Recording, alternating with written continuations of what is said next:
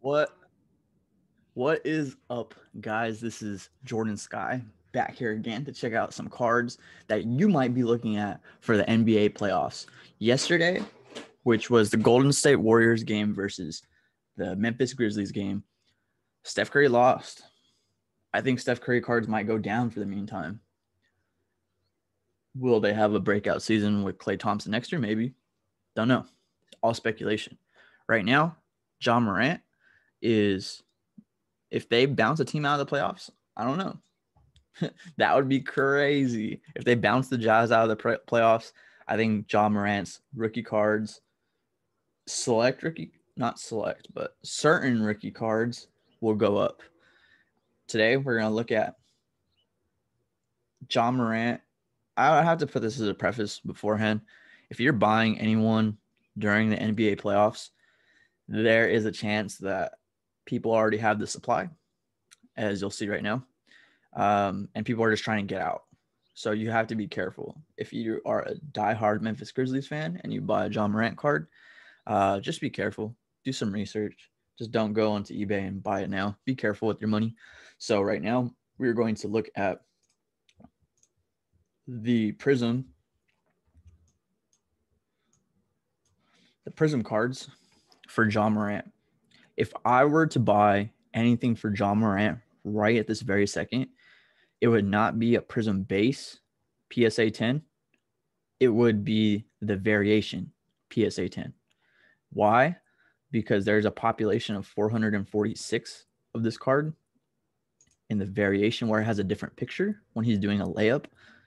Whereas the Prism base, which is the most abundant out of the product, has a population of 16,027. So I would not suggest touching this base card.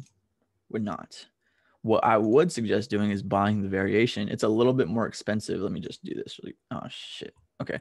But let me look at this, the variation, but there's also a there's all this stuff. There's so many rookie cards for this seven for this 18 19, 18 clock 1920. Sorry. Oh, uh, but I'm looking for one other thing, but it's not popping up for some reason. Fast break variation. There you go.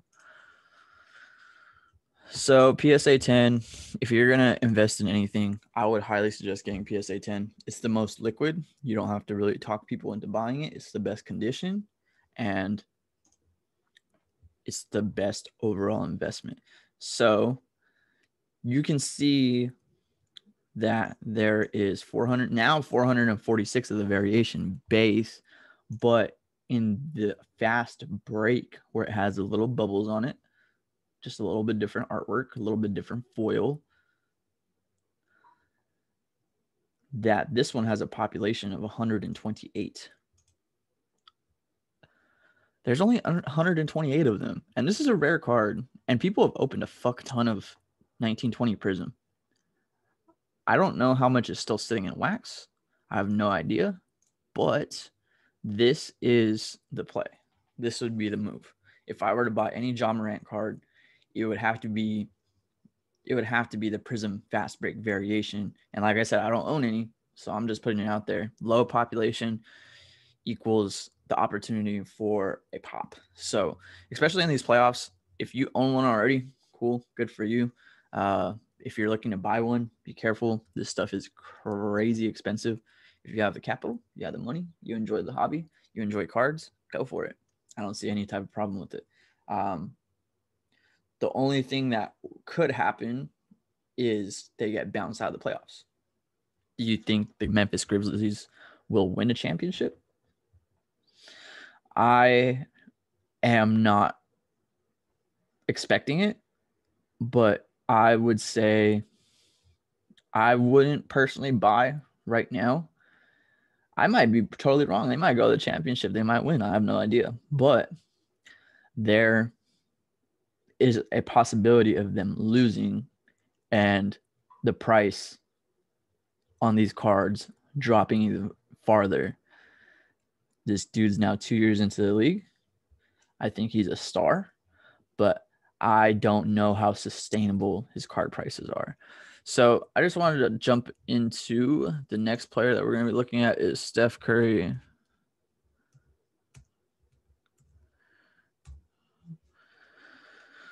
Uh, I didn't even know he had a Bowman. I just want to look at Topps.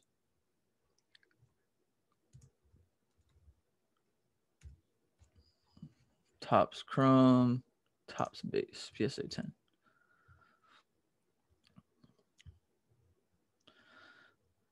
So you can see on just the trend line that it looks like it's going down a little bit. And last sale that it has loaded, which was on the 30th of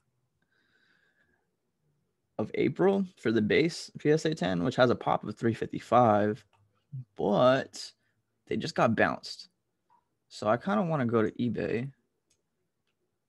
I just want to go to eBay and Steph Curry.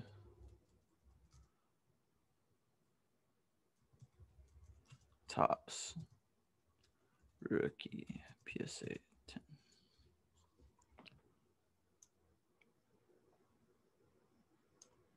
No, I'm kind of in the way. So there's a raw one being sold right now. 351. I want to look at completed items. Sheesh. Uh, what's this going by? Hmm. So a base.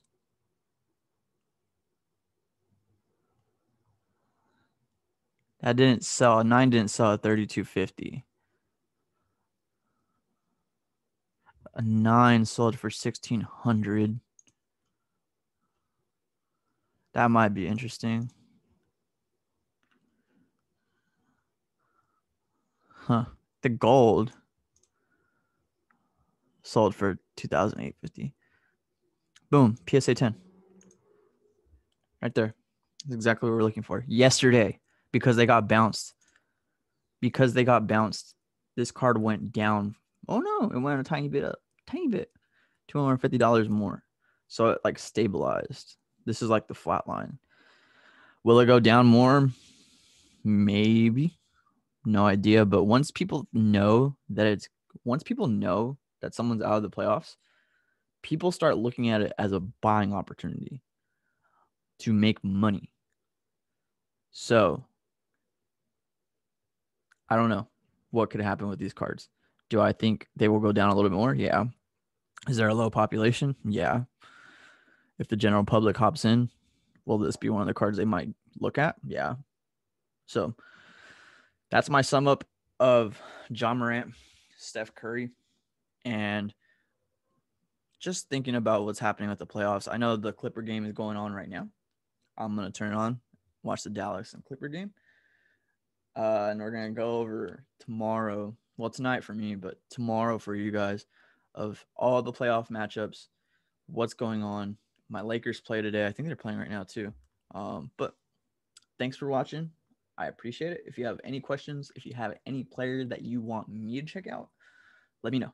Comment it down below. Smash that like button. Destroy that like button. And I would appreciate it so much. Have a great rest of your day. Stay safe.